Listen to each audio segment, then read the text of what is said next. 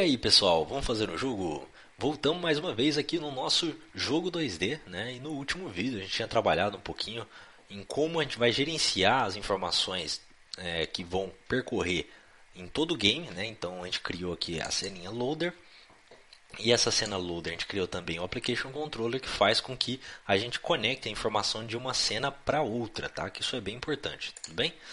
Bom, feito isso, dessa maneira a gente tem aqui também o Level Select, que a gente precisa fazer agora a parte do design, né?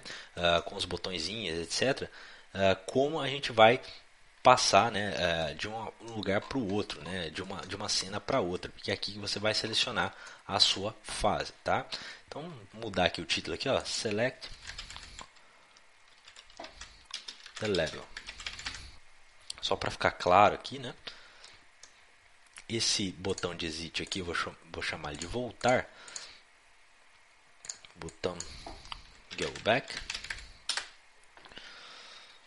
Uh, colocar aqui 4x3, que é o pior que tem, vamos dizer assim. Então a gente pode colar ele na tela, né? Vocês podem clicar aqui, ó, apertar a tecla Alt e colar ele aqui no canto aqui, ó, né? Tá independente da, da resolução, ele vai sempre colar ali no cantinho para vocês, ó. Aí vocês podem então ajustar aqui um pouquinho para não ficar tão colado ali, tá? Vamos mudar aqui o texto para back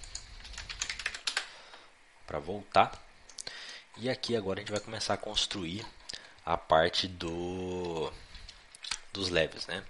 Vamos falar que o nosso jogo vai ter aí 10 níveis, tá? Eu não, uh, é claro que depois com o tempo a gente pode criar mais níveis, né? Mas primeiramente a gente vai falar que o nosso jogo tem 10 níveis, né? Depois a gente pode até criar umas setinhas depois, né? Se, se ficar muito interessante, cria umas setinhas vai mudando de nível, né? Uh, a gente pode fazer o que? A gente vai criar aqui um, um panel. Então vamos criar aqui em 2D não, 2D não. É Y Panel. Tá aí. A gente pode clicar aqui, ó, que a gente edita esse camarada aqui. Então, você clicando nesse objeto aqui, nessa, nessa ferramenta que se mexe com os elementos 2D, fica muito mais fácil, tá? Então, a gente vem aqui, cria o panel, tá? O panel, eu quero sempre que fique no meio, independente da, da, da situação. Então, vocês vêm aqui, aperta Alt e joga no meio. Pronto, ele sempre vai ficar no meio uh, do quadrado, independente do que aconteça, tá lá. Deixa eu até trazer isso aqui um pouco para cima, beleza. Ok, então criou o panel e aqui dentro do panel a gente pode criar os botões, tudo bem? Então, Y, botão. Uh, vamos criar aqui um, um, tamanho bacana. Vamos criar um tamanho quadrado, né? Posição, né? Na verdade, eu vou colocar aqui 60 por 60. 60 por 60 tá bacana. Então vão ser 5 em cima e 5 embaixo, né? Então vou vir aqui. Só que antes de, de sair duplicando o botãozinho, né? Uh, acho que bacana a gente criar aqui. Vamos ver aqui uma pastinha para alguns prefabs, né? Vou criar aqui uma pasta chamada menu. A gente cria aqui uma pastinha para level select e cria aqui o nosso botão, né? Botão select level. OK? E a gente pode arrastar aqui, ó, por quê? Porque agora fica fácil, né? Se eu precisar editar alguma coisa em um ou outro, fica fácil de, de eu trabalhar. Então tá aqui. Vamos pegar o primeiro aqui, vamos colocar um, um texto nele, né? No caso aqui vai ser a fase 1. Level 1. Para te jogar aqui, level 1 dar uma apply aqui que vocês vão ver que o outro já fica com level 1 também. Né? Isso aqui é bacana. Bom, o primeiro level, depois a gente duplica aqui os botõezinhos para ver como vai ficar. Tá? Uh, o primeiro level, né, ele vai linkar aqui com o level controller. Tudo bem? Só que tem um detalhe, ó, vamos, vamos ver aqui no código. A gente tem aqui o level controller aberto? Não, não temos, né? Vamos abrir aqui então. Level select controller, tá. Uh, vamos criar um método aqui. Ah, ele tá bugado, vamos formatar ele. Edit, formato, format document, beleza. Public void go to level. Aí a gente passa o int uh, level level id e aí lembra que a gente tem que verificar se a gente pode entrar ou não no level, né? Então, como que a gente faz para verificar se a gente pode entrar ou não no level? Muito simples, a gente tem lá o application controller hot instance uh, can uh, can calma aí que tem alguma coisa errada lá no application controller. Esse cara can access level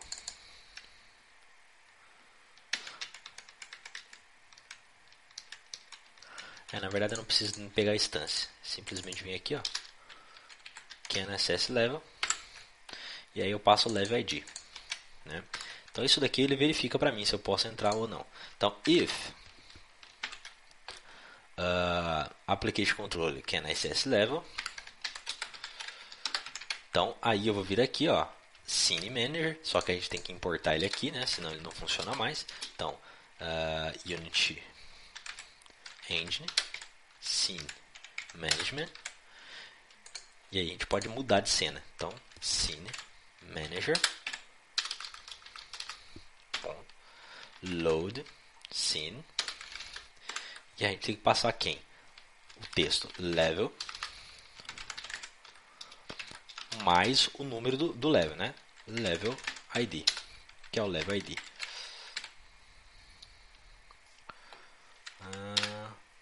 Tá aí. Tá certo? Então basicamente é isso. Se eu posso passar, ele vai entrar.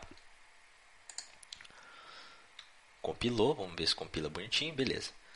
Uma coisa que a gente pode fazer aqui, galera, para corrigir esses uh, esses warnings aqui, né? Sempre que a gente utilizar o protect, a gente coloca um new na frente, que é a estrutura de como ele utiliza aqui.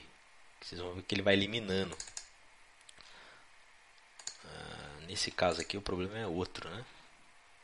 Mas enfim. É, tá falando que pode ser um new aqui também.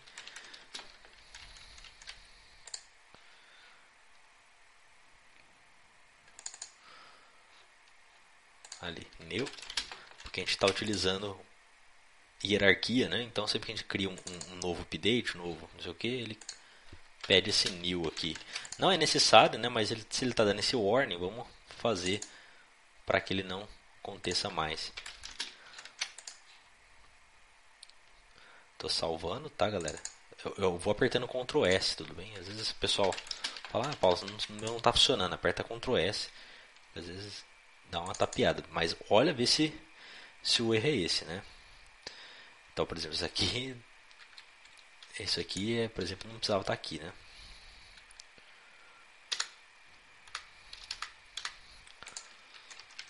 Salvar aqui. Que aquilo ali acho que era alguma explicação que eu dei em alguma live, alguma coisa que ficou lá. Isso aqui nunca foi usado.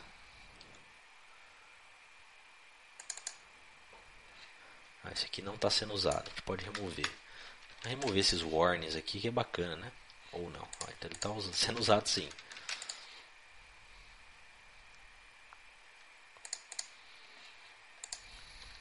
Vamos ver onde ele foi usado. É só aqui. A gente pode remover aqui e remove aqui também.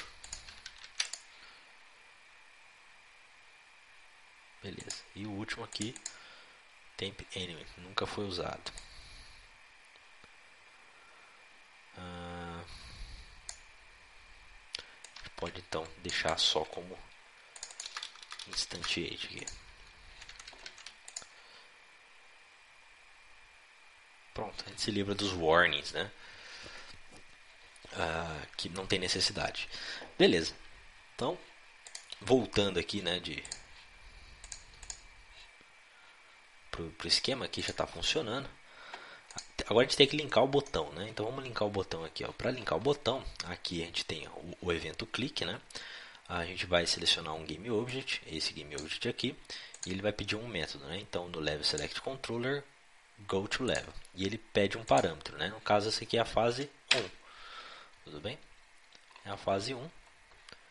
Teoricamente, se eu clicar aqui, ele vai para a fase 1. A gente pode testar isso, né? Ah, Paulo, e agora? A gente tem que ir lá na cena loader para testar toda a aplicação. Por quê? Porque a gente vai precisar do application controller lá, né? Então, play. Pronto, aí funcionou. Foi para a primeira fase, né? Uh, vamos vir aqui no level select. Na cena 2, nesse botãozinho aqui. Vamos dar um apply aqui primeiro, que já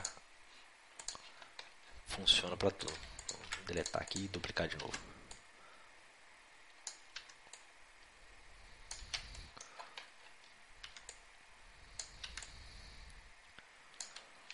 Aí, dá uma ajustada aqui nos danados. Duplica aqui. Como eu falei para vocês, 10 fases, né? Posso apertar aqui? Não, isso aqui não vai dar certo. Enfim. Uh, a gente ajusta aqui, né? Fase 2. A gente tem aqui o texto. Número 2. E o texto. Tem que abrir aqui. Texto número 2 texto 3, fase 3, texto 4, e aí tem que mudar um por um, tem jeito, galera. Level 4, 5. Ah, Paulo, dá apply? Não, não dá apply aqui, porque senão não vai funcionar o que vocês querem. 5, 5. Tá bom, né? Depois os outros dá para fazer em off. Tudo bem? Então, vou salvar essa cena aqui. Uh, vamos lá. Vamos lá para a cena loader. Vou dar play. Que é assim que a gente tem que simular como a, a fase vai funcionar. Né? Vou tentar a fase 4. Ele tentou acessar. Então quer dizer que o nosso código está errado. Porque isso daqui era para dar errado, né?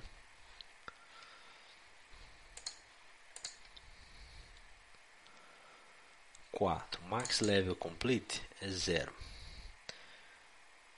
É menor ou igual? Não, tem que ser maior ou igual. Então tá errado aqui. Maior ou igual. É.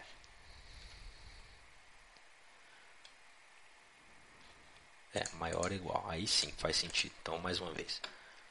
Tentar acessar a fase 4. Ó, não consigo acessar a fase 4, fase 5. Fase 1 vai. Né?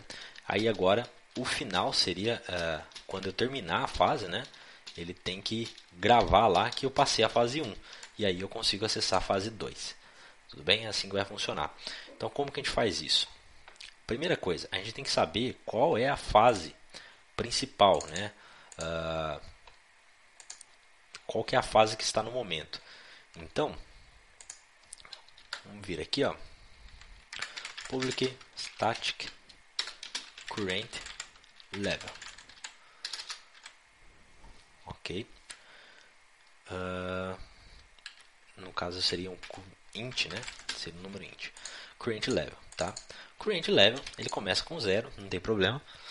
Uh, aí, a gente pode criar aqui. Na verdade, não precisa nem disso. Vamos lá. Level select. Quando a gente selecionar o level, né? A gente pega o application controller. Por que o application controller? Porque ele está em todas as cenas, tá? Ponto. Current level recebe o level ID para falar qual fase que eu estou, tudo bem? Quando a gente passar de fase, a gente vai falar que o máximo de fase que eu conseguir vai ser o level ID. Isso se ela não for menor do que já está lá, né? Então, uh, vamos vir aqui, ó, gente pode criar aqui, ó, public no application controller, né? Public static void, nesse caso eu não preciso de nada, né? Uh, add max level completed. adicione o máximo de level completado. Né? A gente passa aqui o int level id. Né? E aí eu verifico if level id for maior do que o, o level que está salvo, nesse caso, né, eu vou pegar e vou setar set o max level complete para level ID. Né? Então isso aqui faz com que se eu passei mais uma fase, né, ele vai chamar, a gente tem que chamar esse método, né? Mas o que, que ele faz? Ele verifica, ah, eu estou na fase 2, beleza, fase 2. Fase 2 é, é maior do que a fase anterior, que era, que era 1, por exemplo, que era fase 1, é, é maior. Então, a, máximo de level completado foi agora, vai ser a fase 1, não 0. Tá? Então é assim que ele, que ele vai incrementando. Só que aí, lá na, na cena de Game Win, né? Se a gente entrar nessa cena, quer dizer que ele ganhou. Né? Então aqui no Start a gente pode fazer o seguinte: ó, uh, Application Controller set add, né? add max level complete. Ah, qual que é uh, a fase a, a fase em questão, né? Bom, aí, na verdade a gente não precisa nem disso, né, galera? Porque a gente não precisa passar parâmetro, né? Não precisa passar parâmetro, porque a gente já tem aqui, ó, current level, né? Então, application controller, controller, ponto, current level. Fica muito mais fácil, né? Que aí a gente só vem aqui no, no game win simplesmente chama o método, né? E aí ele já grava pra gente qual foi a última fase que a gente passou.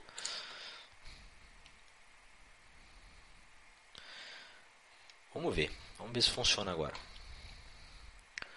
No loader, play.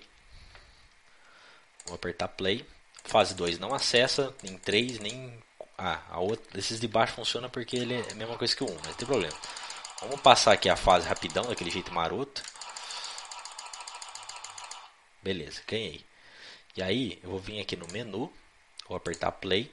Agora a fase 2 tem que estar desbloqueada. Beleza, fase 2 foi desbloqueada. E eu sou B10 demais. Enfim, então tá aí. Mais uma parte concluída. Galerinha, esse vídeo vai ficar por aqui. Se você tem dúvida, deixa nos comentários. Você também pode utilizar o fórum, tudo bem? Uh, o pessoal sempre responde de dúvida lá. É bem bacana vocês utilizarem o fórum, tá? Uh, você pode tentar deixar no comentário, alguém pode tentar te responder. Às vezes eu posso tentar te responder, mas não é garantido, tá? Uh, então, esse vídeo vai ficar por aqui. Um grande abraço a todo mundo. Falou! E fui!